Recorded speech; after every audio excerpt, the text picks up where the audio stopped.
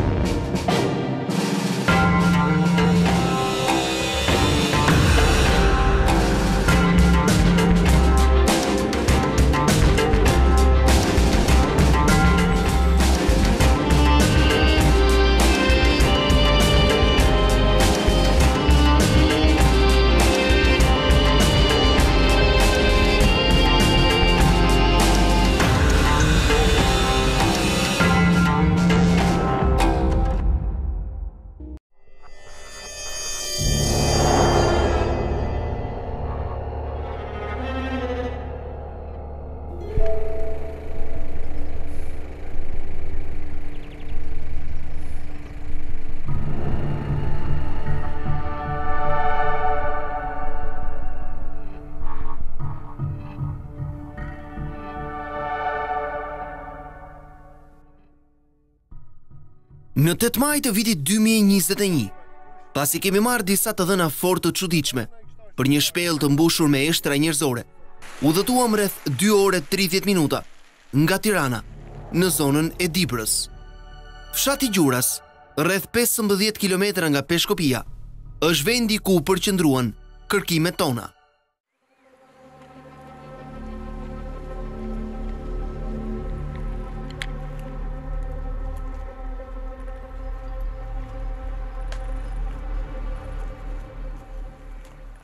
Çfarë është kjo shpellë? A janë të vërteta të dhëna tona? Përse këto eshtra njerëzore gjenden brenda saj? Cilës periudhë i përkasin? Dhe si është e mundur që nuk ka asnjë të dhënë zyrtare për to? Shumë pyetje shoqëruan rrugëtimin tonë në këmbë, nga pjesa ku duhet të linim makinën, drejt shpellës, sipër mbi fshatit Gjuras.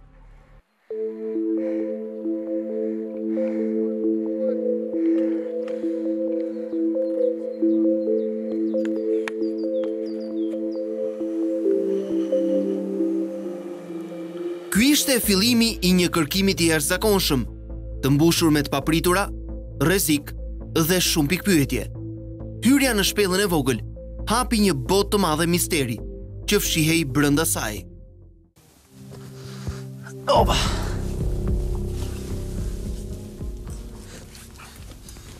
Kjo pjesë siç e shikoni është shumë e vështirë për t'u kaluar. është shumë e ngushtë. Megjithatë, ah, do të kalojmë. Të dhënat që erdhën tek ne përmes dy djemsh të apasionuar, pas kërkimeve në shpella, ishin të vërteta.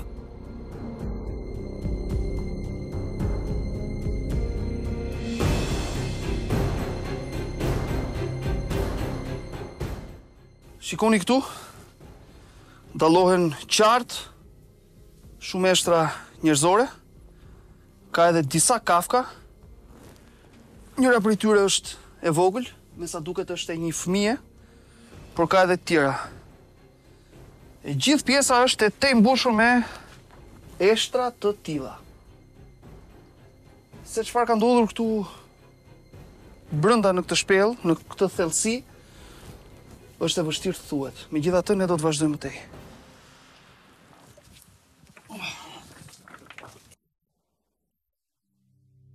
Kemi qëndruar me orë të tëra brenda saj, me shpresën për të kuptuar më shumë, por në kushte të tilla, gjithçka bëhet fort e vështirë.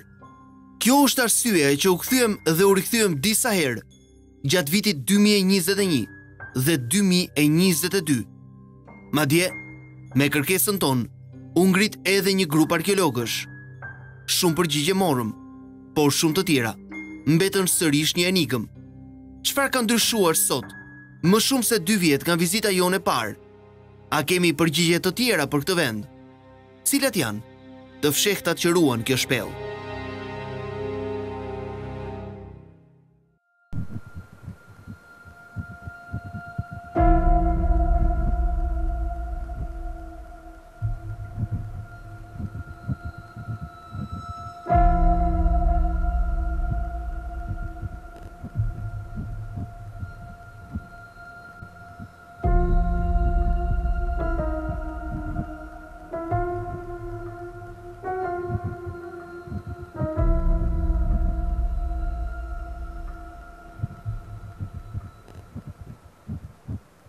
Janë ende shumë pyetje që vijnë natyrshëm për atë që përfaqëson ky vend.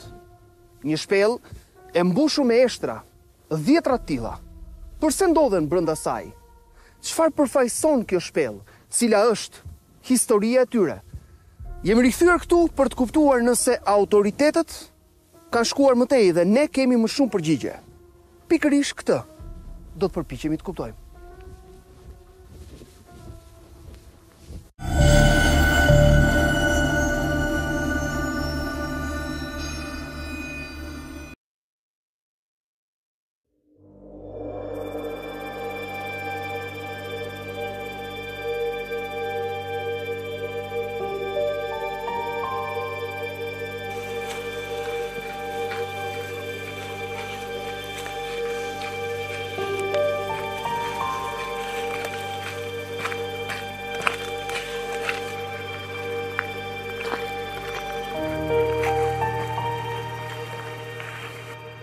Fshati Gjuras është i qetë. Banorë të pakët ikin e vijnë rrugicave. Shumica si kudo janë larguar. Natyra është tërheqëse, por infrastruktura e mban të izoluar këtë fshat nga Peshkopia.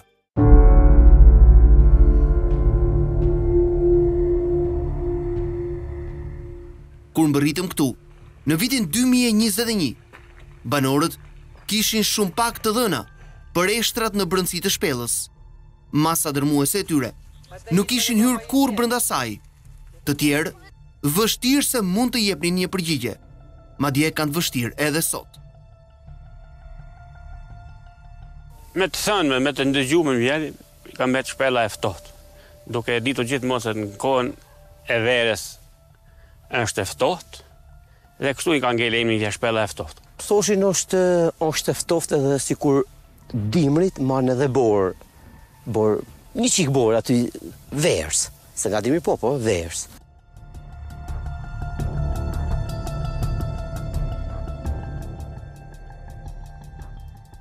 Kur i kemi pa në ekran, jemi habit krejt.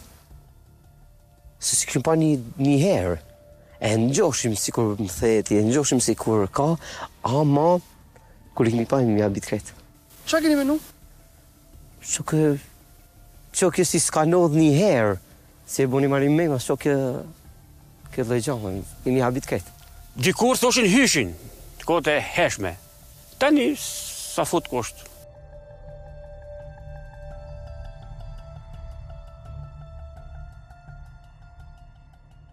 Po siç ka qenë në dijeninë, madhe nga pleqtë, nga këto, nga të dhanat e vjetërve baballarët këto nuk... Nuk kemi pas ngjuar ndonjë gjë shumë shumë të ashtu. Vetëm emërtimi kështu, na si kalamaj futeshim. Dilshim jashtë, kishim fr kishim frikë. Futshim llastika, fikeshin, ikshim, dilshim jashtë. Po shpella është vetëm thjesht gojëdhënë se, ne nuk dishim gjëra për ta, por Siç na thonin të parët tanë që është një shpellë e ftohtë dhe shkoshim atje kur ishim të vegjël dhe e vizitoshim shpesh herë. Aty shikoshim kafka njerëzish, kocka. Edhe kaq largoheshim sepse nuk kishim mjete që të futeshim. Kur njoftuam menjëherë autoritetet për ekzistencën e kësaj shpelle dhe eshtrat e shumta brenda saj, morëm një përgjigje të ftohtë. thuajse shpërfillëse. Dy ishin mendimet që shprehën fillimisht arkeologët, pjesë e institucioneve përkatëse. I pari, se eshtrat mund t'i përkisnin viktimave të ekzekutuara gjatë periudhës së komunizmit dhe më pas të fshehura në shpellë. Mendimi i tyre i dytë i cilësonte ndoshta si eshtra të banorëve të ekzekutuar nga ushtria serbe në këto anë gjatë luftës së parë ballkanike.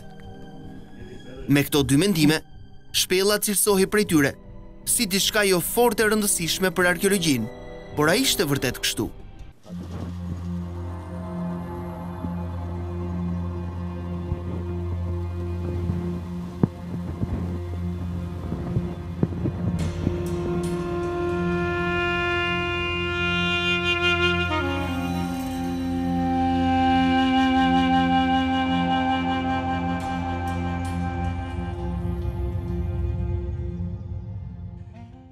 Që në fillesë banorët kundërshtonin mundësinë e një masakre serbe në këtë fshat, gjatë luftës së parë ballkanike. Nga të parët e tyre, nuk ruanin asnjë të dhënë të tillë, dhe për më tepër, ushtria serbe nuk kishte pse i fshihte viktimat e saj në brendësi të shpellave. Fakti që mes eshtrave nuk ruhet asnjë copëz rrobash, është një tjetër dëshmi se ato janë shumë më të vjetra. Por pavarësisht këtyre të dhënave, autoritetet mbetën sërish mosbesuese.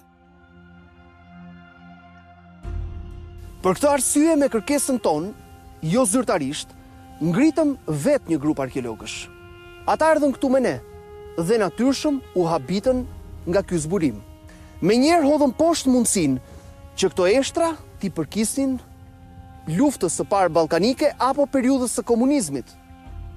Po atëherë, çfarë ishte kjo shpellë dhe kur datonin saktësisht këto eshtra?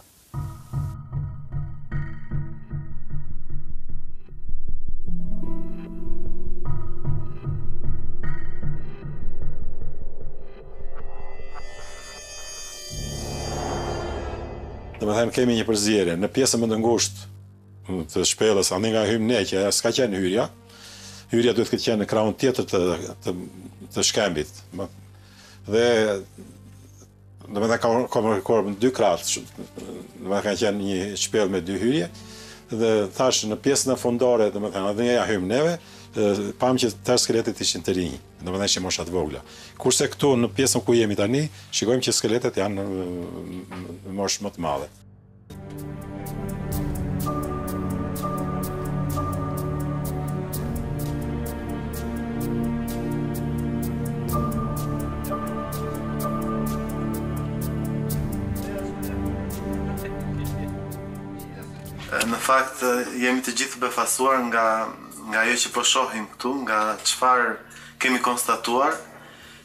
Të thuash që kemi interes është shumë pak, realisht në këtë situatë që ne ne po shohim në këtë zonë është një nga gjërat më të rralla, një nga objektet më të rralla që mund të kemi vizituar dhe mund të kemi parë.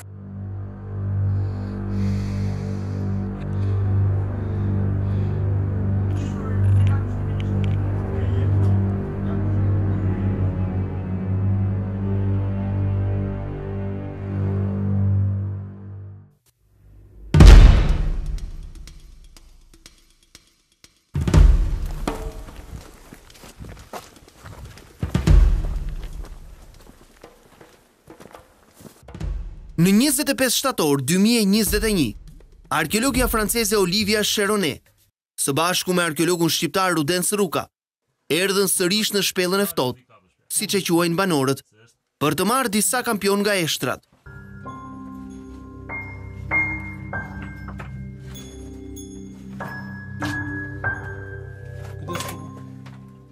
So I will take uh, Do të marr mostra të kockave, fragmente të tyre nga vende të ndryshme të shpellës dhe potencialisht nga ngjarje të ndryshme që mund të kenë ndodhur brenda saj. Do të shohim nëse mbetjet janë të njëjta dhe a kanë lidhje me një ngjarje. Pra kështu do të mund të kuptojmë se çfarë ka ndodhur.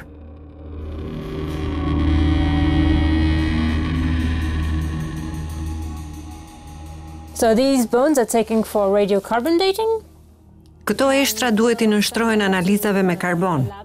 Do t'i dërgojmë në një laborator të specializuar për analizimin e eshtrave dhe përmes kësaj mund të marrim një datim se sa të vjetra janë. Për momentin kemi të bëjmë me një mister.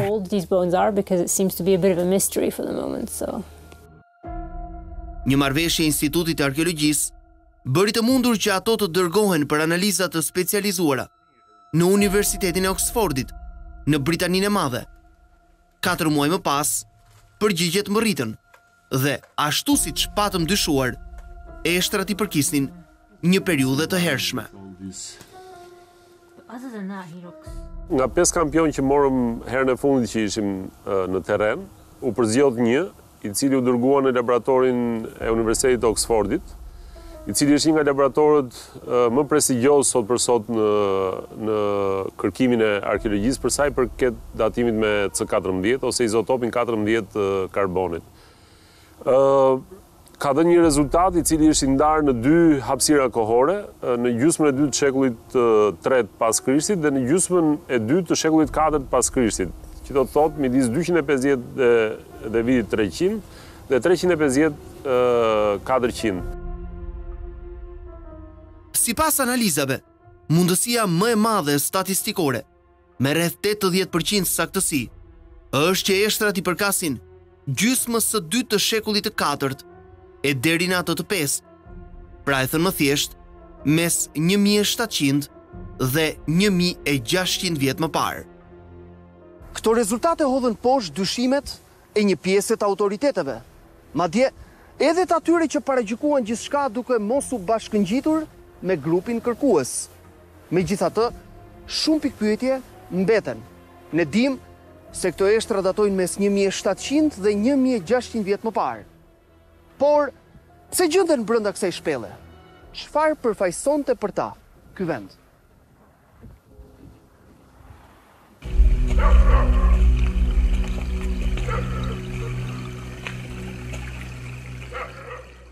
Ku paske ardhë ju, shi që si pësra, u pësra menja ju, se këtu nuk ka ardhë, kush, dhe vishë që të ku kini ardhë ju.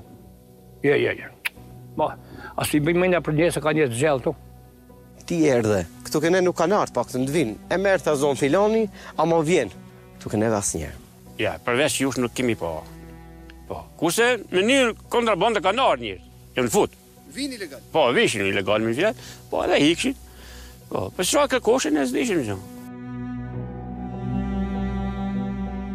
Të vjetrit thoshin mos shko se shpellë keqe, humbesh, bësh, a e frikshme. Këto gjëna, nuk kemi hollë, unë se kom pravu për veten time, as kom hi mrenda, nuk di gjë, realitetin mrenda nuk kom hi, ta di se si është e ku është, si... Pavarësisht se kanë kaluar më shumë se dy vjet nga zbulimi i saj, kërkimet këtu kanë munguar, askush nuk ka ardhur më në këtë vend, për të ndjekur gjurmët e ndryshme. Rezultatet me sa duket nuk e ndezën sa ç'duhet kureshtjen e autoriteteve.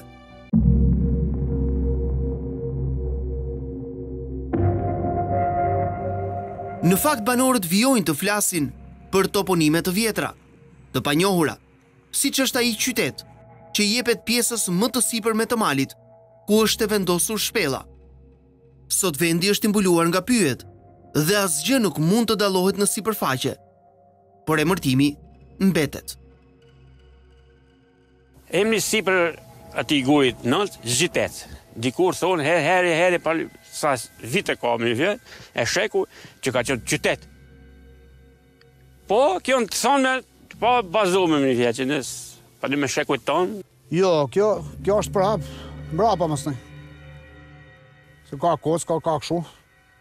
Në atë kohë nuk dinim gjana, vetëm se emërtimi shpella e ftohtë. E kishim dëgjuar me gojdhanat e të moshuarëve që ndodheshin një vend pra me kocka, me... Po ne në fakt nuk ishim futun brenda që t'i shihnim. Kishim dëgjuar se mund të kishin ardhur njerëz nga disa vende të tjera, ose mund të ishin arratis o kishin vdekur në këtë vend, po hollësi nuk dinim.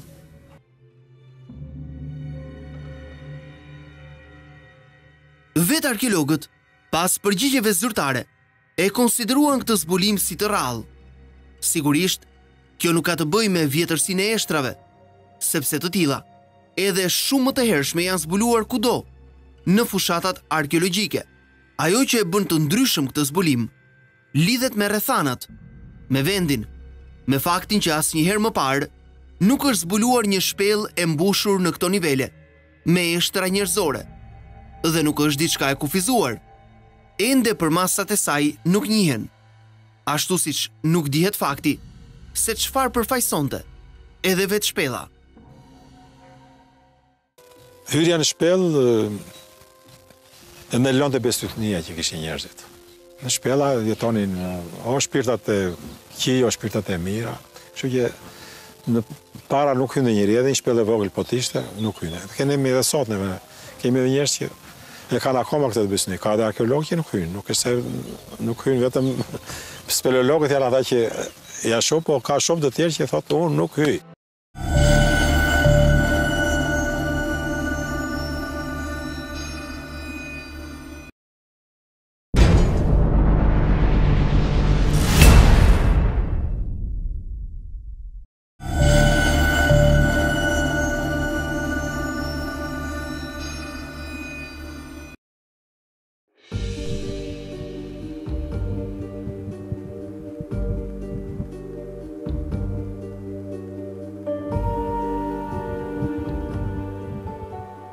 Shpellat janë konsideruar gjithmonë si faltoret më të lashta të njerëzimit. Ato përfaqësojnë një lidhje shumë të fortë me njeriun e parë. Të gjitha civilizimet më të vjetra kanë mite dhe legjenda të lidhura me to.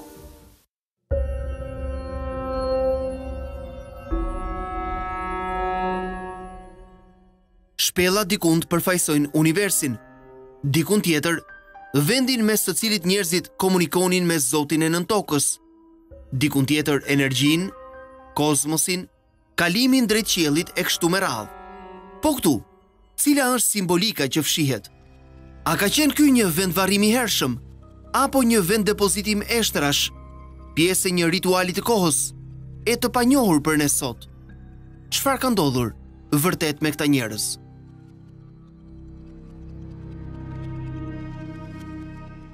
Me të dhënat e mbledhura, mundet të ngrem dy hipoteza të ndryshme.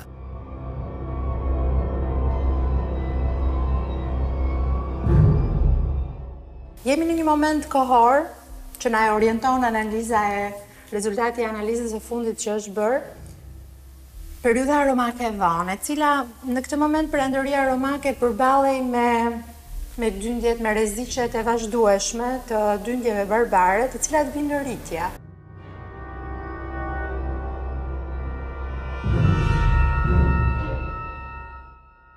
Dyndjet barbare janë të identifikuara që prej shekullit të katërt e më tej. Për këtë arsye, perandoria romake që kishte pushtuar këto territore, ndërmori investime të shumta me karakter mbrojtës. Megjithatë, mungesa e sigurisë dhe lufta që dukej në porta nuk ishte i vetmi shqetësim për shoqërinë e kohës. Në periudhën në të cilën datojnë eshtrat, një tjetër ndryshim i madh po ndodhte. Kemi prezantimin dhe njohjen zyrtare të krishtërimit. Por jemi në fillesat e konvertimit në një kulturë të re dhe në një fe të re. Duke qenë se jemi në këto fillesa, bëhet fjalë për një periudhë kalimtare, e cila do të kalojë nga një periudhë pagane kur njerëzit banorët e këtyre provincave besonin në shumë fe dhe besonin tek paganizmi në një moment tjetër që është krishtërimi.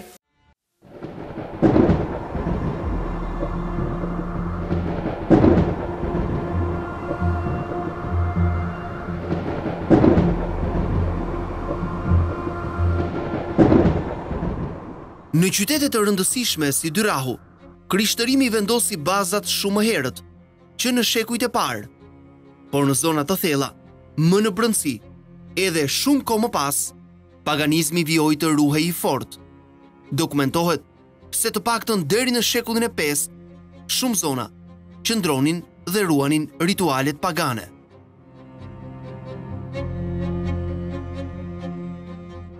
Por sipas arkeologëve, mund të ketë qenë edhe e kundërta, pra që kjo shpellë të jetë përdorur nga besimtarë të krishterë në shekujt e parë të krishtërimit, kur ai ende kishte një shtrirje mjaft të kufizuar. Të dyja rastet duhen trajtuar si hipoteza të mundshme. Kjo shpellë mund të ketë qenë një vend i shenjtë për banorët dhe ritet e tyre pagane. Apo është përdorur nga të tillë që i kushtoheshin në fshehtësi, krishtërimit, në fillesat e tij.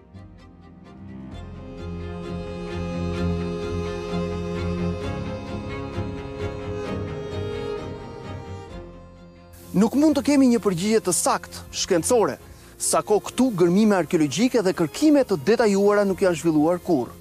Por çfarë tjetër fshihet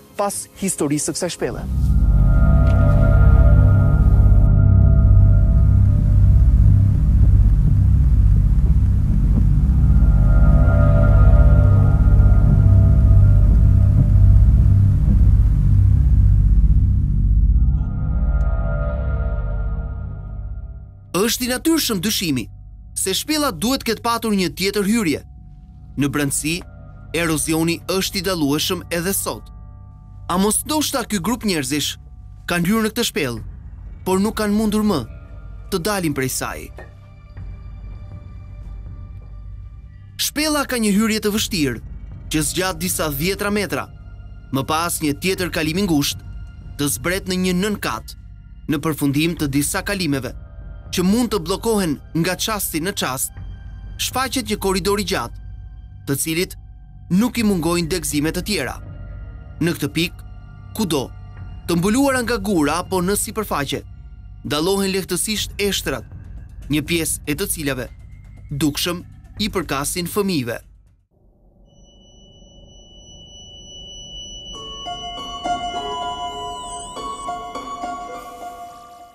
Gjithçka është enigmatike dhe përveç faktit se këto eshtra i përkasin njerëzve që kanë jetuar mes 1700 dhe 1600 vjet më parë, asgjë tjetër zyrtare dhe e provuar nuk mund të thuhet.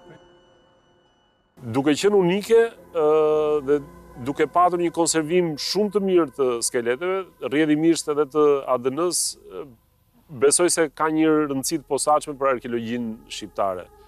Sigurisht duke përfshirë ekspertizën e projektit të paleogjenetikës, të gjitha këto analiza, por dhe përfshirjen e arkeologëve të periudhës, të cilët mund ta vendosin mirë në kontekstin e saj historik.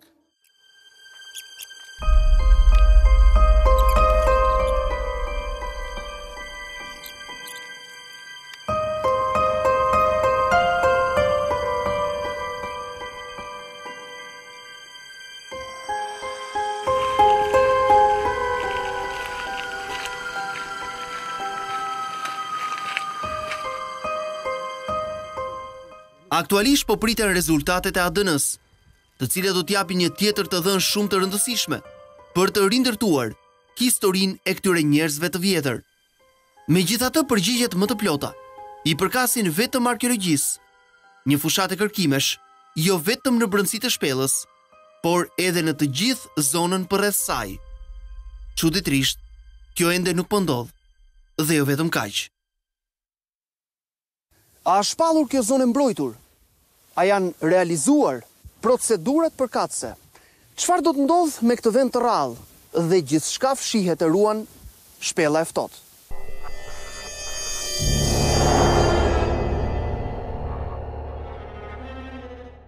Pavarësisht rrezikut që paraqet hyrja në brendësi të shpellës, duket se brenda saj, në periudha të ndryshme, nuk kanë munguar kërkuesit ilegalë.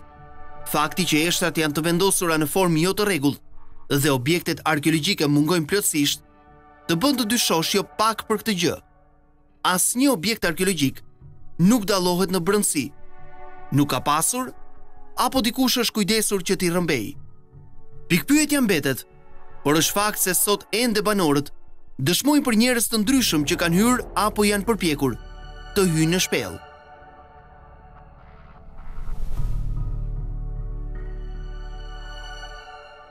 Çfarë ende mund të dalë në dritë? nga pastrimi i plotë i sipërfaqes së mbuluar nga gurët në brendësinë e saj. Sa njerëz prehen saktësisht në këtë shpellë?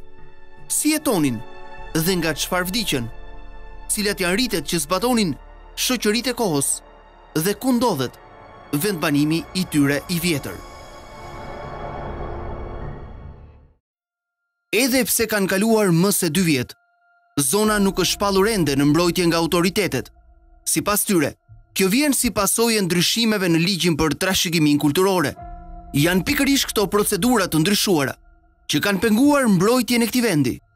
Pra sot Shpella dhe e gjithë zona arkeologjike përreth vijojnë të jenë të pambrojtura. Status zona nuk ka ende, por edhe kërkime të mëtejshme nuk janë kryer. Që prej majit të vitit 2021, kur ne mbërritëm këtu dhe publikuam gjithçka, asgjë nuk ka ndryshuar, në kërkimet për këtë shpellë.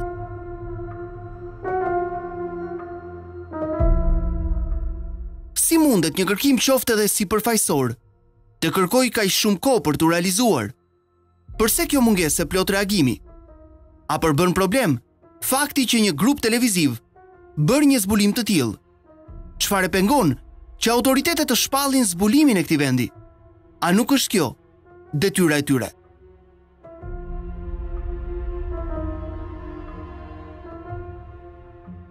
Të gjitha këto pyetje presin ende një përgjigje.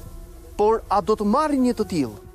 Kjo është pjesa më e vështirë, duke patur parasysh që edhe sot, kaq shumë kohë më pas nga zbulimi i kësaj shpelle, nga bërja e saj publike, kemi më shumë pyetje se përgjigje. Shpresa e fundit mbetet që terri të mos mbulojë dhe historinë e kësaj shpelle dhe atë që ajo fsheh. Për Gjurmë Shqiptare, Marin Mema.